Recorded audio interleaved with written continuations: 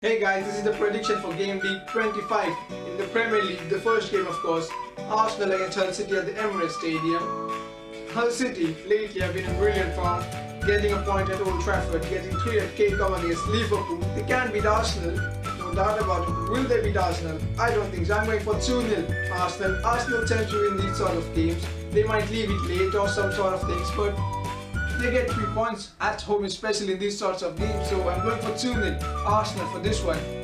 The second game, of course, Man United against Watford. United have been unbeaten in the last 16 games. Uh, they've drawn too many games at Old Trafford. That's the problem they have had. I think though United will win this one. I'm going for 1-0 United against Watford. Watford, of course, fresh from a victory at the Emirates. So they'll be full of confidence. So I still think United will win. Going for just one goal, maybe in the injury time of first half or something like that, and that would be enough. Going for 1 0 Manchester United there. Middlesbrough against Everton. Well, Everton have been in great form lately. Lukaku is banging in goals for fun, and I'm going for him to score again. I'm for 3 1 win at Middlesbrough for Everton. Stoke against Crystal Palace. Crystal Palace have been so poor. Against Sunderland, they got beat 4 0 at home as well, all four goals in the first half. And all of a sudden, they look like they are most likely to go down in the relegation zone and down in the championship. They spent most amount of money in the Premier League in January, so it's not what they wanted to be in, do you think? And Sam Allardyce had to do a better job, but he has failed at it So Stoke against Crystal Palace. I'm going for 2-1 to Stoke City.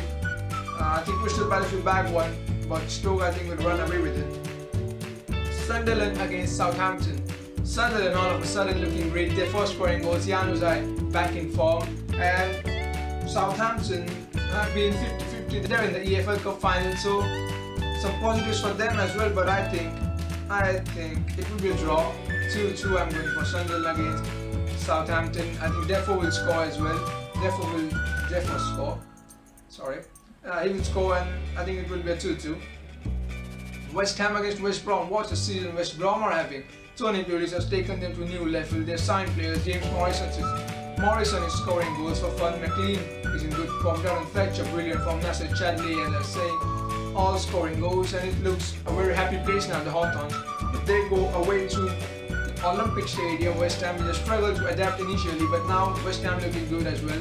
And I'm going for 2-1 to West Ham. I think West Ham will edge it to Andy Carroll. He's in great form, and I think West Ham will win that one. Liverpool against Spurs, what a game. Uh, Liverpool have yet to win a game in 2017 in the Premier League, and the passion of the manager is not quite working yet. And Pochettino for Spurs taking them to new levels. Spurs are in brilliant form and I think Spurs gonna get a draw at Anfield. It'll be 2-2 I believe. Spurs are the favorite for this one. I think Anfield is the venue so definitely fans will be up for it. Liverpool will go for it. I think it'll be a 2-2 Kane and Alli to score and Lallana and Firmino always have a goal in them. So I'm going for 2-2 entertaining draw at the Anfield. Then it's Burnley against Chelsea. Well, 3-1 Chelsea. Simple. I don't see anybody catching Chelsea. They're going to run away with it. They're going to win.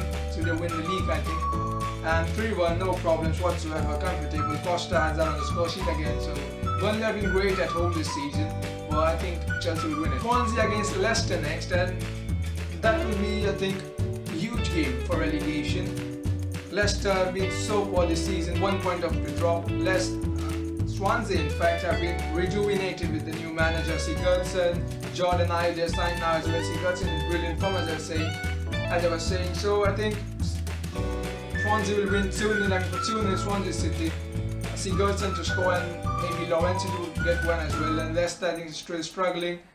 They can beat Swansea Leicester but they're in such kind of form they're going down and down and I think um, they will be in relegation battle to the end of the day so I'm going for 2-0 Swansea City to take Leicester City into the relegation zone for the moment. And then the Monday night game, Bournemouth against Man City. This could be tricky for Man City because Arsenal of course going to the Vitality Stadium at night in an unbelievable 3-3 draw there.